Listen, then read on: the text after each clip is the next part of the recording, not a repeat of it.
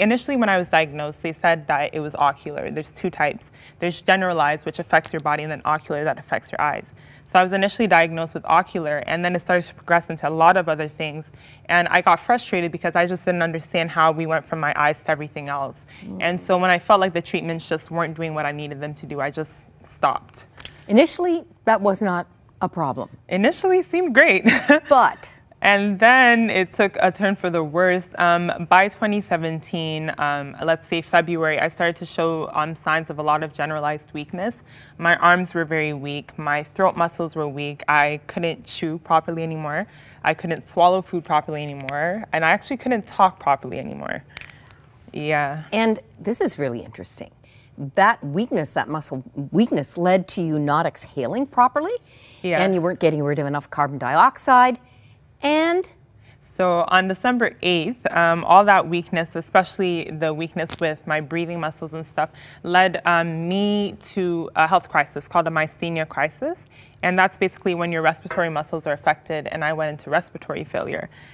Which led to cardiac arrest. Arrest, yes. It was, it was an interesting ordeal. It happened at home, and the first um, the first symptoms, I guess, um, I wasn't speaking properly and all these things, and my little brother was there, and he noticed, and he called my sister. And by the time they came, they called 911. They tried to keep me awake. By the time the paramedics got there, I was out. My heart had already stopped, and they had to resuscitate me.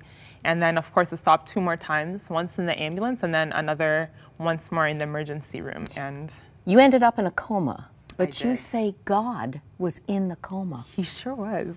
He sure was. It was interesting because I was in a dark place. I didn't know where I was, but I just knew that something was wrong. Something was different. I was surrounded by darkness, and it wasn't just darkness, it was like a void of light.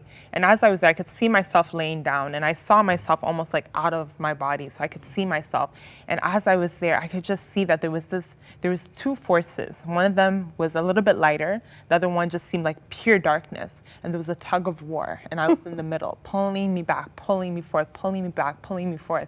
And it came to a certain point in time where I saw myself just lying down, and I could tell that there was something wrong, but I could hear people talking. You heard the nurses, you oh, heard the oh, people in your I heard room. everybody. I everybody. Heard everybody take note. Yeah. If you're dealing with someone in a coma. Yeah. And it's very true because at a certain point in time, I think um, somebody had told my mom that I, I couldn't hear, so there was no point. She just needed to just be there. And I'm glad that she didn't listen because everything that the people said, I, I heard everything to the point that when I woke up from the coma, I recorded everything down, started writing everything I heard, all the promises people made me. I was like, listen, I'm coming. yeah. Yeah. How did this resolve? Wow. Do you know the song, the refrain, Darkness and Light stood face to face, but mercy said no. Amen. Amen. Mercy did say no. Mercy did say no. Well, basically, um, that night, um, a lot of things weren't going well, and it just seemed the doctors gave me less than 10 hours to live, actually. They had tried so many different things. My oxygen level was not going up. At that point, my heart was weak, my lungs were weak. You weren't expected to make it through the night? No. But um, my family and friends and my church family were actually in the waiting room, about 30 of them actually. And when the doctors came, they said something along the lines of, you know, we don't think she's going to make it, so we're going to bring a social worker. You guys need to start thinking about funeral arrangements. And my pastor said, you know what, thank you for everything, but we're going to pray. You do what you need to do, and we're just going to stay here and pray. And they prayed that night. They sent texts out, they called, and they did whatever they needed to do.